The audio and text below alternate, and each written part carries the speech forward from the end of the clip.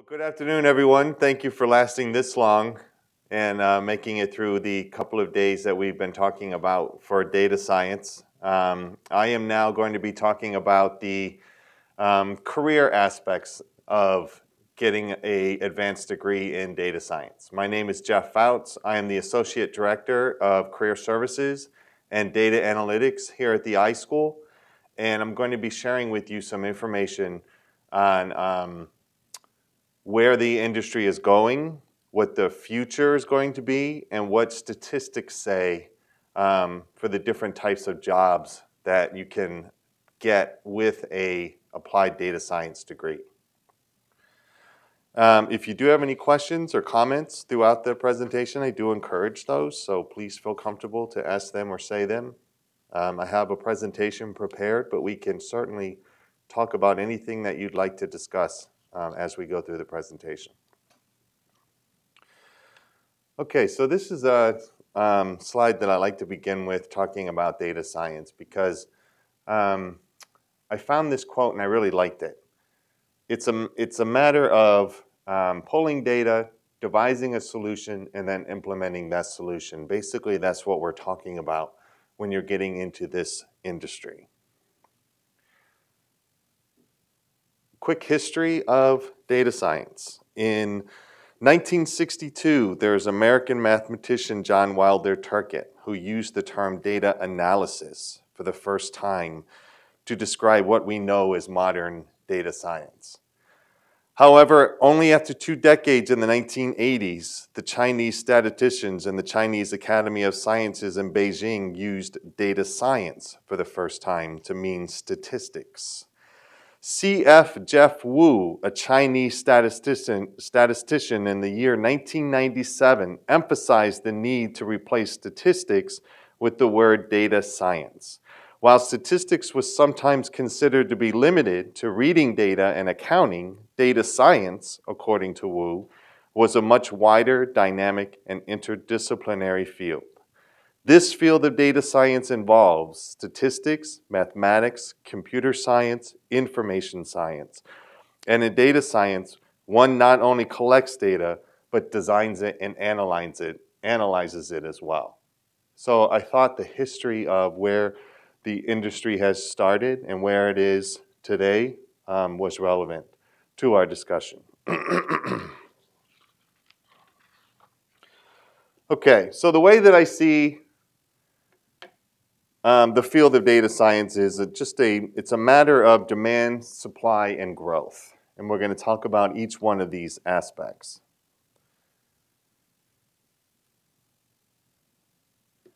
To be a successful company in the 21st century, you have to use data to your advantage. 10 years ago, many companies were performing data-driven decision-making by using Excel to analyze data.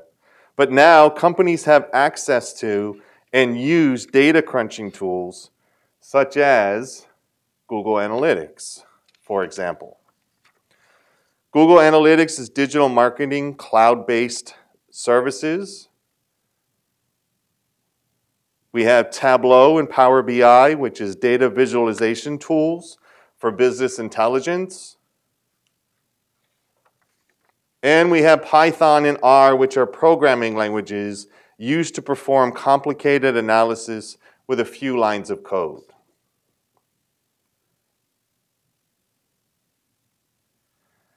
The need for skilled data scientists cuts across nearly all industries, with particularly strong demand and opportunities in such fields as healthcare, for example. And the gentleman on the panel um, who spoke was talking about pharmaceuticals, which has a dotted line into healthcare. The healthcare sector represents one of the most important industries for data scientist involvement. Not only does an estimated 30% of the world's warehouse data come from the medical field, but the opportunities for improvement could save the industry as much as $300 billion annually. Working in the healthcare industry as a data scientist means more than just efficiency improvements. It can mean lives saved. Because of this, data scientists are flocking to this industry. Another industry is transportation. In transportation, data scientists can make life-saving improvements from fully autonomous vehicles to Internet of Things sensors, improving the driving experience. Data-driven solutions are necessary for safer, less pollutant transportation practices. In fact, 60% of surveyed experts in the industry say the application of IoT in transportation, Internet of Things, will boost health and safety outcomes. These outcomes are the results of machine precision that only data scientists can provide. There's also supply chain management. When the COVID-19 pandemic struck, it illustrated the need for adaptive and transparent supply chain features. Across all kinds of industries, suppliers, manufacturers, and delivery drivers struggled to keep up with who was still operating and where the product needed to go. The result was a confusing, often delayed mess. But for supply chain managers operating with the help of data scientists, supply chains can function more smoothly. So this is just an example of the types of industries that are looking for and utilizing data scientists.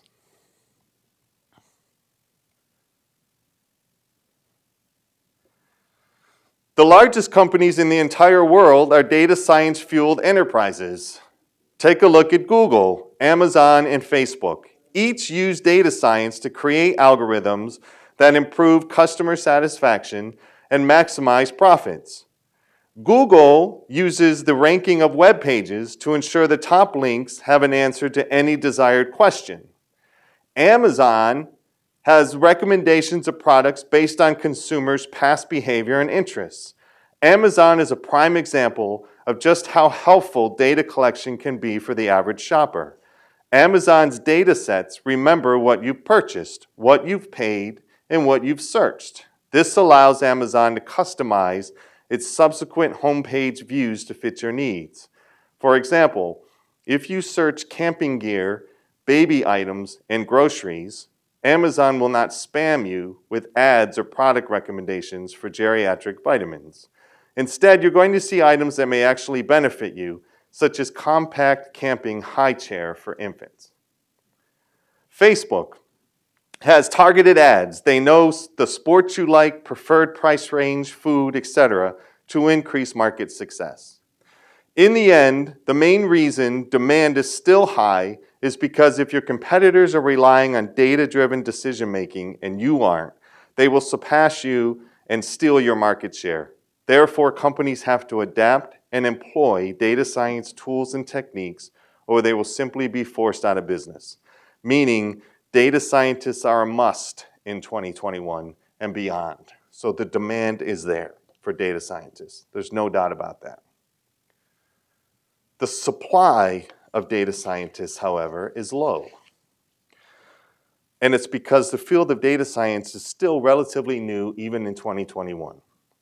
20 years ago, it was impossible to learn data science because of slow internet connections and low computational primitive programming languages. By 2025, experts predict that 163 zettabytes of information will be generated an incredible number prompted by the explosive growth of connected devices and enhanced networks. For data scientists, this means new avenues for streamlining business processes. This exponential growth and interest in the field were impossible to predict, and traditional education was not ready to meet the needs of those who wanted to learn this growing field.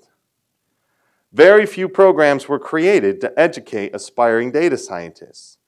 This shows, as research suggests, those who get into the field usually transition from other fields, such as business, psychology, and life sciences. Most who transition learn their skills through self-preparation by reading books and taking online courses.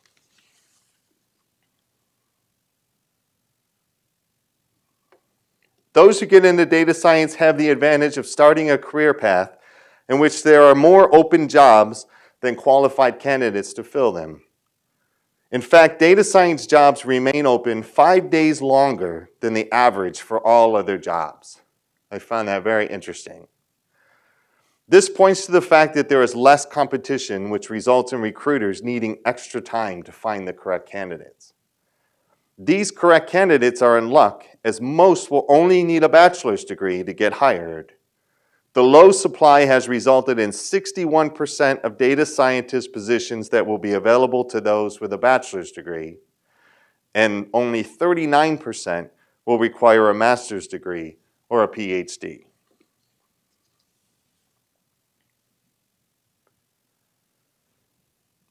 So now let's talk about the growth.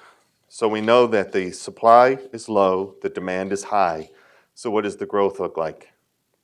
Per LinkedIn, there has been a 650% increase in data science jobs since 2012. Glassdoor gives evidence to this claim as they had about 1,700 job postings, with data science being the primary role in 2016.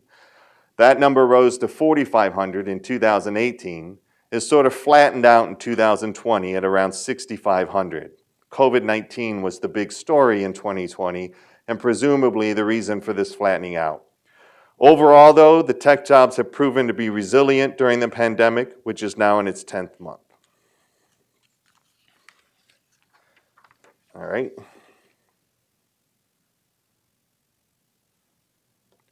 Demand for data scientists is still high while supply is low. According to IBM, this tendency will continue to be strong for years to come.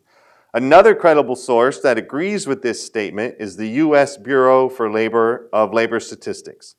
The U.S. Bureau of Labor Statistics sees strong growth in data science field and predicts the number of jobs will increase by about 28% through 2026. To give that 28% a number, that's roughly 11.5 million new jobs in the field. Okay, so that talks about the demand, the supply, and the growth. And now I'm going to share with you information about iSchool specifically. So we did have a question. Do you want to take that now or wait until the end? Um, sure, what's the question? So it was from, Sure. So, can you, can you just maybe speak up, please? sure. Hi, uh, this is Nikhil. Uh, I was just wondering, like, say, with respect to data science, right, you were talking about the healthcare industry. Uh, it feels like, uh, the companies are using data science in order to just increase their profits. Well, what I mean by that is, for example, let's say that I'm, uh, uh, the companies are definitely collecting a lot of data. And let's say that, uh, the prediction is that I'm more prone to pollen, whereas you're not prone to pollen, right? Then they're more keen to insure you instead of insuring me, right? And, uh, also like say, though uh, premiums also vary, uh, you know, for me it will be much higher, whereas for you it will be much. So it feels like the data is being, uh, is being used in a negative way in order to, uh, which will affect the people who need it the most. So, uh, do you have any comments on that?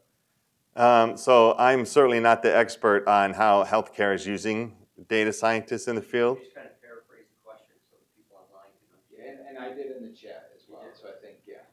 So basically, what you're talking about is using data science for the purposes of making money, Right. profiting, right? Instead of helping people or, you know, instead of solving actual needs, right? It feels like the entire concentration is just on increasing the profit, not solving the actual problems that. I would say that um, that would fall more along the lines of, I mean, because health healthcare is a very general field. So I could see that more along the lines of the specifically in the pharmaceutical field, more so than in the health healthcare in general field. Um, I mean, let's face it. Why are we in business? To make money. So of course they're going to be um, searching for ways to make as much money as they can in the fields that they are. And that's just the, the nature of the business. But I also think that there is, um, that data science is also being used in positive aspects as well, um, as I was alluding to and what I was talking about in trying to help to save lives by being able to apply, um, you know, the data that's collected on patients and how they're able to better use that data to better, uh, more efficiently help the patients that are- are in need.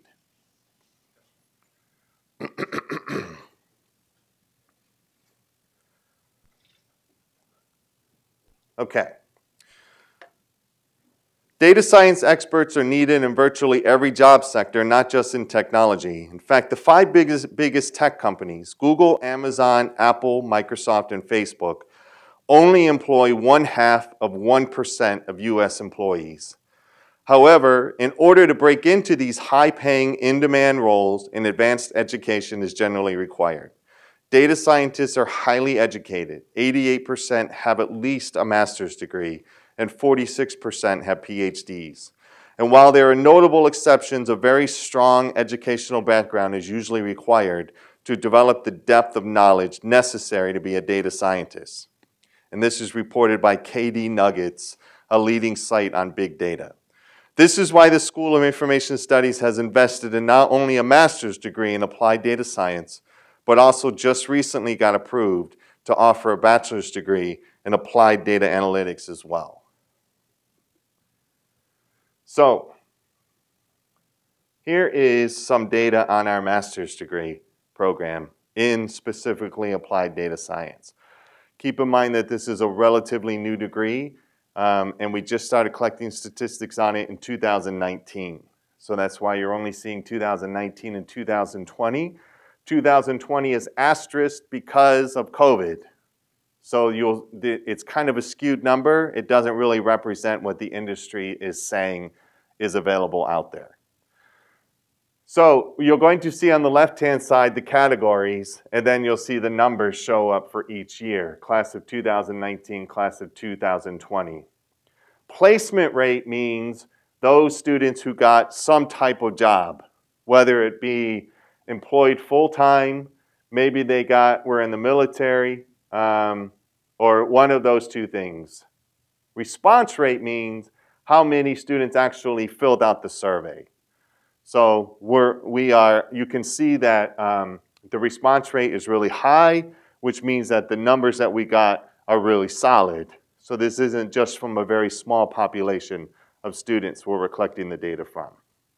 So you'll see that in 2019, 80% of our students who were in the data science program got employed full-time in some type of job. And I'm going to share with you what those jobs were. In 2020, it was just 57%. But I also want to share with you when they obtained employment. Most of them got employment zero to three months after they graduated. Um, same thing in 2020. The salaries, the average salary in 2019 was 82,845 for our students. And in 2020, it was 86, 625. And then you'll see the two-year rolling average. So this gives you an idea of what's happening, at least in Syracuse at the iSchool, with our applied data science students.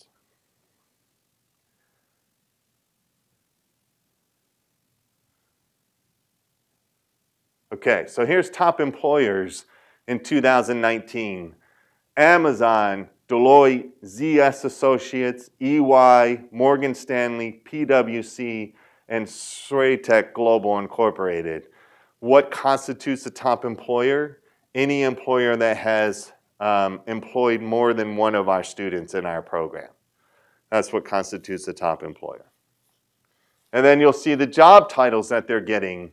Advisory consultant, business analyst, business intelligence analyst, business intelligence de developer, business development engineer, business technology analyst, data analyst, data scientist, risk assurance associate.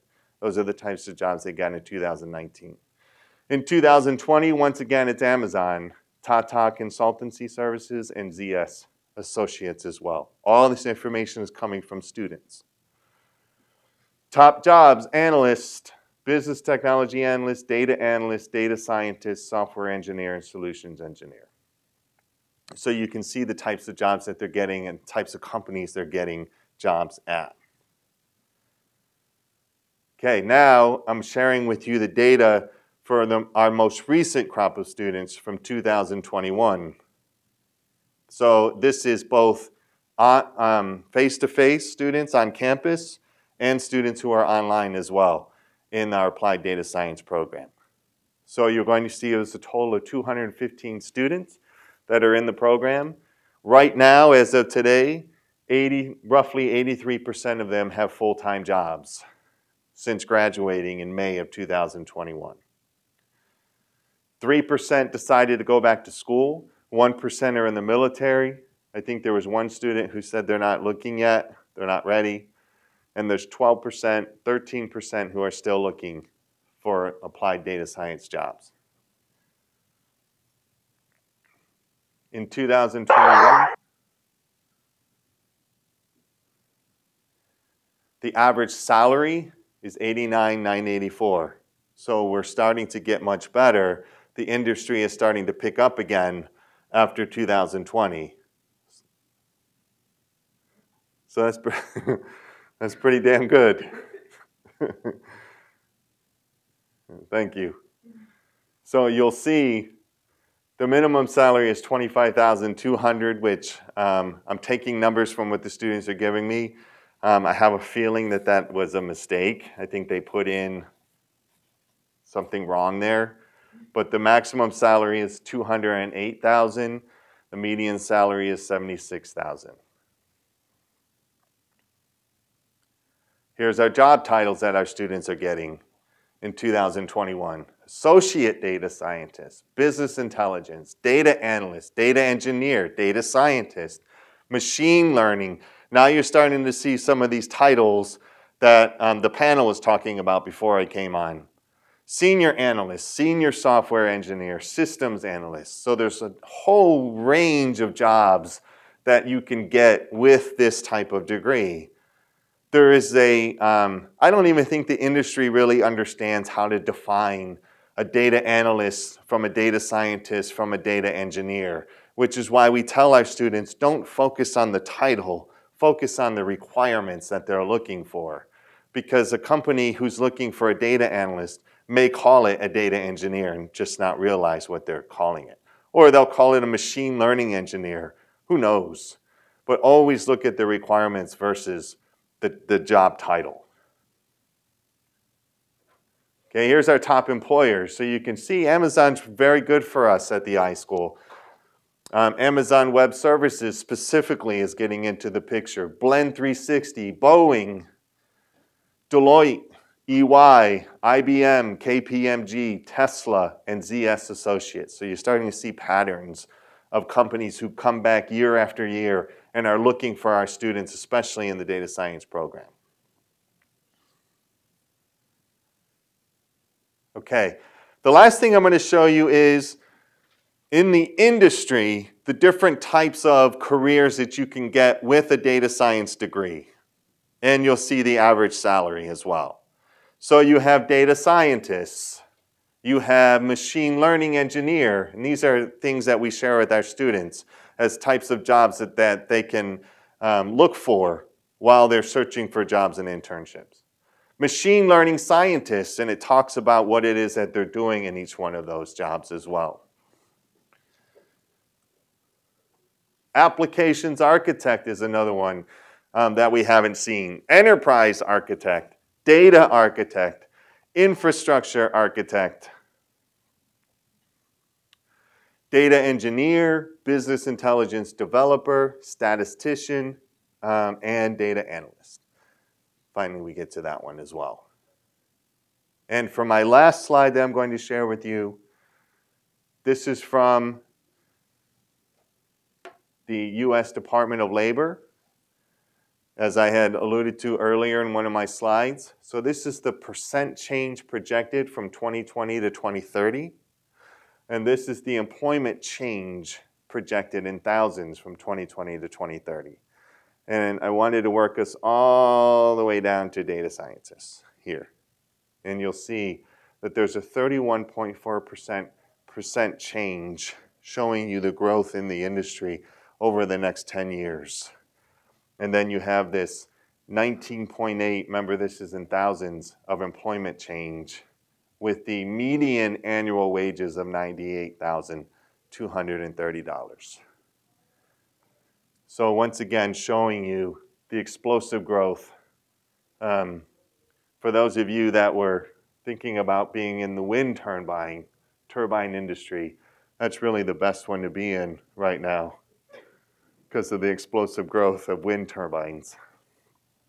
But data science is still one of the top 10 which I thought was pretty good.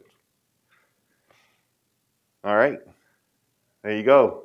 That's my presentation. There was a question in the chat about kind of overall asking um, what your thoughts on how somebody coming into either a master's or a PhD with prior job experience would change any of those um, salary amounts.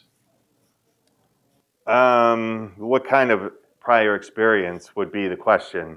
They didn't get into specifics about it, so are you, are you able to generalize it? Well, Like maybe if they had related experience versus if they were, you know, doing something unrelated? I can tell you, even without experience, just getting a master's degree can get you another 10 grand in salary. So your experience should be able to get you more than that. So the master's degree is worth that much more, and then your experience should account for a little bit more than that, and that's what I would try to negotiate for um, when I went when I got my offer. Uh, it's more of a, uh, just a comment. Uh, I know the person, the max salary which you spoke about. That was a fact. That was the right number because I know the person uh, personally who uh, landed the job in Amazon. So uh, she was a master's in data science area. Oh, good. Yeah, very good. So thank you. So you're just justifying my numbers. I appreciate it. She giving out, she giving out any of the two hundred eight? yeah. So, uh, it's really impressive numbers on the, uh, the salaries, the starting salaries. Yeah. Do you have any information on where, like, the majority of these students are going to live? Like, are they mostly going to big cities or smaller towns, or do you have any sort of information on that? I do have information on that. Um, I don't have it with me, but um, it's so the areas that our students go is normally west um, in the California area, um, Chicago, Boston, and New York City. We are trying to go into the south more. So um, actually, next year we're looking at going into Austin, Texas, um, which is a huge, it's becoming a huge area for companies. A lot of them are leaving those cities I just mentioned and they're going to Austin. Um, but right now, that's where our students are going. And I'll tell you too, still, a lot of them are remote. So I love when students have remote on as job experience because a lot of this, the jobs or internships they're taking now are still remote. So the fact that they have experience in remote only helps them. Yeah. I actually have two questions. One's not directly related to the job, uh, but I noticed the numbers of students between, in the program from twenty nineteen to twenty twenty to twenty twenty-one. Yeah. Pretty drastically, so. Yes. if you could Comment on that, and then my other question around jobs specifically is, I know a lot of these, uh, companies, especially like the FAANG, the Amazon, Facebook, they're super competitive, so even though the demand is high and supply is low, uh, how does that impact, you know, someone who's actually looking for a job because the are all, uh, competing with each other? Well, the, the one thing that I was trying to illustrate was it's not just those companies that are hiring. There's all types of industries that are hiring. But these are the companies that have been hiring our students. So, um, and it's, it's, they've hired more than one student, right? Could be two out of all of those students that they hired. Um, but it is competitive to get into those, but I can tell you um, that there are literally thousands of data science jobs available right now. Um, that if a student comes into me and talks to me about jobs and internships, I just pull out the jobs and I send it to them and say, here, just start going through the list and finding things that are interesting to you. Like, there's not a problem to find jobs opportunities. Even if you want to get into one of those major companies, um, you know, depending on your background, what you've done, what you're studying, and what you're fluent in as far as those skills, you have a really good shot of getting in there into one of those if that's what you want. As far as the numbers go, there's a reason for that. So you'll see we went from 131 to 56. Most of our graduate students on campus are international students. So in 2020, they had a real hard time getting um, permission to come to the US with their passports and getting their H-1 visas. So we didn't bring on as many students in this class as we normally do. So that's the reason for these two discrepancies. For 2021, I just recently started, I added in the online students population as well. I didn't do that for 2019 and through 2020. So you're seeing a combination of both online and on-campus students here. And going forward, um, normally what I would do is break it out and I would sh show online and um, on campus. But for this presentation, I just put them together. But you'll start to see, are you here on campus? You're not a student, but if you come back and just walk around, you'll see our stats up on the board and you'll see it broken out by online and on campus and how it shakes out as to who's, who's going where, who's getting jobs. And Jeff, there was one, one more question online. Um, do you have any data about summer internships? So um, I, we don't track internships. So I don't have I don't have any data on that. And the reason why we don't track it is because not every student um, tells us that they got an internship. So the data is kind of skewed. Um, we do have like um, we do have someone in our department who does know students who, as long as they tell her that they have an internship and they want to get credit for it, um, she tracks it. But for our data science program, they're not required to get internships. So it all depends on if they want one or not. That's what I was gonna say, the fact that for data science, it's not required, so that they'd be able to screw. Yeah. That it? You guys good? Th- Can we do one more question that just came in and then we'll, we'll Sure. end it? So um, the question was about if you can explain a little bit more about what services your office provides both the current students and then also alumni. Yeah, sure. So um, for current students, um, we provide services that help students with their resumes and their cover letters, their LinkedIn profiles, and um, services such as networking, how to interview, how to negotiate, um, basically any aspect of finding jobs and internships.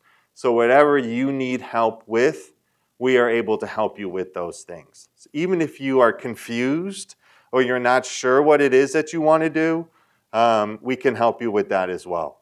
So we, we, I always say that I, I would like to be as much a part of your career journey as you would like me to be. So include me in as much as you want me to be involved in. Um, we have a separate career services division for our online students, so um, who we um, speak with on a regular basis, and we work with each other and try to communicate with each other to make sure that we are also supporting that student base as well. Alumni, excuse me, are more than happy. Um, they're, uh, we are more than happy to support our alumni as well. So alumni still have access to Handshake, which is the tool that we use for all things career related, and they are still able to make appointments with us and come in and see us. And they have access to all of our resources also online. So um, those are the different ways that we support those different audiences. Yeah. Um, just one more quick question. So I saw, or noticed earlier that it was like ten percent that get hired before they graduate. Yep. Are those mainly like the large companies that hire out like far in advance, or is there no trend of either or? So um, those are companies who um, they are larger companies. I, I, I will say like EY and the Deloitte's. They like to lock in the students early so that they so they like to fill in in the fall semester to get ready for the crop for the summer jobs. So they try to lock in our students early so that the students can't go out and keep looking for jobs. So when you see that, that's the reason. Um, a lot of our um, companies are aggressive and they want to lock our students in, so they'll stop looking. and they had they got them. So they're look they are um, interviewing heavily in the fall, um, and they always tell us we want to have our our group filled by Thanksgiving. That's their goal. So all those students that you see, and a lot of them stemmed from um, internships that they had with those companies, and just got full time offers in August. Yeah.